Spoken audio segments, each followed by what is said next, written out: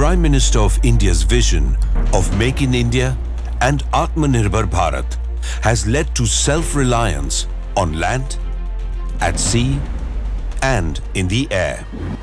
Defence से जुड़ी हर छोटी छोटी ज़रूरत के लिए विदेशों पर निर्भरता हमारे देश के स्वाभिमान हमारे आर्थिक नुकसान के साथ ही रणनीतिक रूप से बहुत ज़्यादा गंभीर है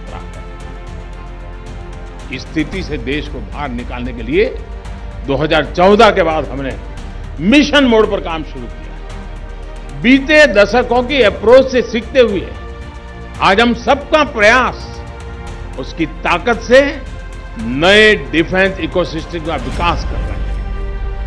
The course towards Atmanirbhar has been chartered by the government of India transformational initiatives positive indigenisation list promote indigenous development and design. Dedicated defense corridors provides impetus to defense production. Increase in FDI through the automatic route enhances access to modern technologies. IDEX Innovation Ecosystem supports advanced research and development. Every platform since 2014 has seen increased indigenization creating greater opportunities for Indian industries both within and outside India. We are now a three-dimensional Atmanirbhar Navy capable of operating across the spectrum of naval operations, from disaster relief to all-out combat.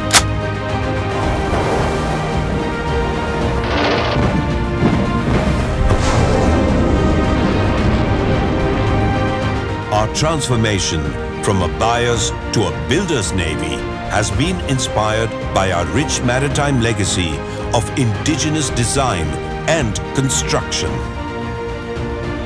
Today, there are 39 ships and submarines under construction in Indian shipyards.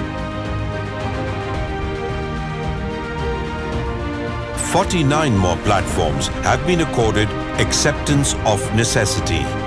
Our future submarine program will be our largest Atmanirbhar project. Being vocal for local has led to innovation and skill development, contributing to Startup India. Atmanirbhar Bharat has not only created robust infrastructure, it has made us think bigger and bolder. What better proof than Vikrant? Named after our first carrier, the legendary Vikrant, that played a decisive role in 1971, she will be the fourth aircraft carrier to fly the White Ensign. Designed by the Indian Navy's Warship Design Bureau and built by Cochin Shipyard Limited, we now belong to a select group of countries with the capability of indigenously designing and building an aircraft carrier. Her 26,000 tons of warship-grade steel has been developed by DRDO and produced by the Steel Authority of India. Vikrant's 76% indigenous content has been achieved through partnerships with over 90 Indian OEMs, 100 MSMEs and 500 ancillary industries. Above all, Vikrant has provided direct employment for 2,000 personnel at CSL and indirect employment for 13,000 towards plowback effect to the Indian economy. आपका लक्ष्य होना चाहिए कि भारत का जब अपनी आजादी के 100 वर्ष का पर्व मनाए उस समय हमारी नौसेना एक अभूतपूर्व ऊंचाई पर हो As India powers towards a blue economy, Vikrant will strengthen the Navy's capabilities and be a force multiplier in both defensive and offensive roles. 630, engage!